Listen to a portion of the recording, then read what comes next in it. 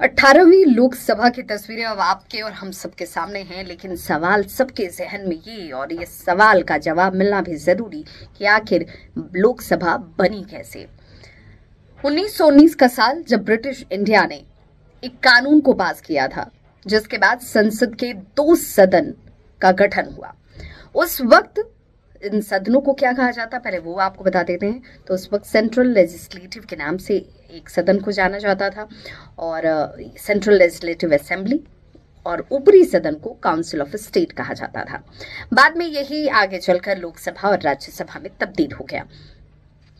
अब चूँकि हम मोदी 3.0 की चर्चा कर रहे हैं, मोदी 3.0 यानी कि अठारहवीं लोकसभा, जिसकी तस्वीरें आपने चुनाव के दौरान देखी भी और अब जब उस लोकसभा के स्पीकर की बात होगी तो उसमें ओम बिरला का नाम भी आएगा। ओम बिरला लोकसभा के स्पीकर होंगे और क्योंकि ध्वनिमत से उन्हें स्पीकर चुन भी लिया गया है विपक्षी इंडिया ब्लॉक के के सुरेश को मैदान में उतारा गया था, लेकिन यहाँ पर चूँकि ध्वनि मत से ये सब कुछ साफ़ हो गया तो इसकी ज़रूरत ही नहीं पड़ी। ये पांचवी बार है, जब किसी लोकसभा स्पीकर को दोबारा चुना गया है, यानी कि ओम बिरला दोबारा चुने गए हैं, और ऐसा ये पांचवी बार हो रहा है। ओम बिरला से पहले M A Ayyangar, G S Dhillon, Balram Jakhar ji M C Balayogi दोबारा स्पीकर चुने गए हैं। हालाँकि अब तक सिर्फ़ बलराम जाखड़ ही एकमात्र ऐसे कह लीजिए स्पीकर हैं जिन्होंने लगातार दो बार स्पीकर का कार्यकाल पूरा किया है।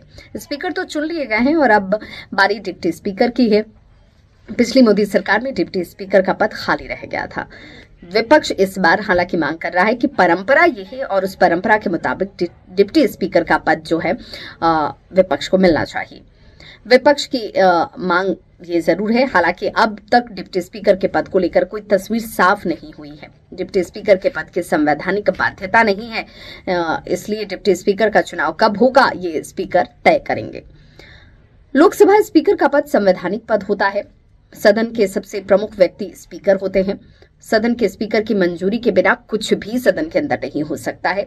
और साल 2019 हम की चर्चा करते हैं, जब ब्रिटिश इंडिया में गवर्नमेंट ऑफ़ इंडिया एक्ट पास हुआ, इस कानून के ज़रिए ही सदन का गठन हुआ था। कानून के तहत सदन के दो सदन बनाए गए। पहला सदन सेंट्रल लेजिस्लेटिव असेंबली जो निचला सदन था, और दूसरा काउंसिल ऑफ़ स्टेट, जो कि ऊपरी सदन था। संसद के दो सदनों को बनाने की सिफारिश मोन्टफोर्ड रिफॉर्म की तरफ़ से की गई थी उस वक्त। ब्रिटिश इंडिया में तत्कालीन विदेश सचिव एडविन मोन्टाकू और वायसराय लॉर्ड जिनकी हम चर्चा करते हैं, जिन्हें हम जानते हैं चेम्सफोर्ड ने 1918 में एक रिपोर्ट तैयार की थी। उसी रिपोर्ट के आधार पर गवर्नमेंट ऑफ़ इंडिया एक्ट जो है वो लागू हुआ। शुरुआत में सेंट्रल लेजिस्लेटिव की अगर बात करें तो सेंट्रल लेजिस्लेटिव असेंबली में 142 सदस्य थे। अब, इनमें 101 सदस्य चुने जाते थे, जबकि इकतालीस को नामित किया जाता था। जिन 101 सदस्यों को चुना गया था, उनमें बावन सामान्य उनतीस मुस्लिम, दो सिख, सात यूरोप के, सात जमींदार और चार कारोबारी हुआ करते थे। बाद में हालाँकि इसमें बदलाव लाया गया। तीन सीटें दिल्ली, अजमेर मेवाड़ और नॉर्थ वेस्ट फ्रंटियर प्रोविडेंस जोड़ी गई।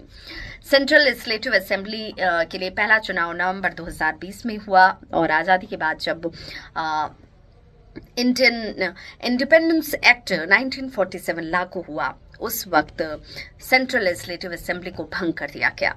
इसके बाद 1950 में संविधान लागू होने के बाद से सेंट्रल लेजिस्लेटिव असेंबली का नाम, लोकसभा और काउंसिल ऑफ़ स्टेट का नाम राज्यसभा रख दिया गया। तो आपको ये जानकारी कैसे लगी, बताइएगा ज़रूर। और तमाम न्यूज़ अपडेट्स के लिए देखते रहिए न्यूज़ एटीन बिहार झारखंड मेरे साथ।